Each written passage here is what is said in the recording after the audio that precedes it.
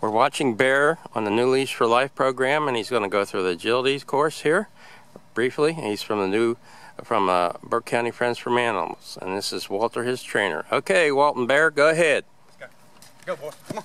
Good boy. There He's you go. doing Come the on. jumps. There Come he goes. Through. Look at him. Uh-oh. Look, he missed the hoop, but Let's go. he's learning. Through, boy. There he goes. And he's up on the platform. Very good. And he's going to do the teeter board. Up on teeter and down the other side. That's great. Thanks, Walt and Bear. We'll see you later.